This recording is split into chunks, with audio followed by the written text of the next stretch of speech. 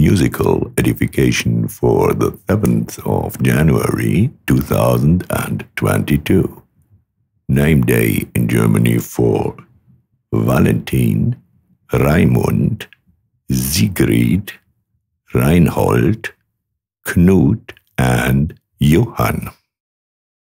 Me and Bobby McGee, the Highwaymen.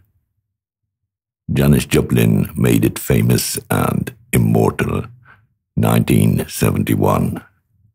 Hymn and slogan at the same time. Freedom is just another word for nothing left to lose. Kris Kristofferson wrote the song. Today, here in the video, Kristofferson sings the main vocals himself. From the beginning up to where the windshield wipers on the diesel give the beat. Waylon Jennings and Johnny Cash also each have their own verse where they sing the main vocals. At least Willie Nelson gives a fine melody guitar solo before the four all together and the song.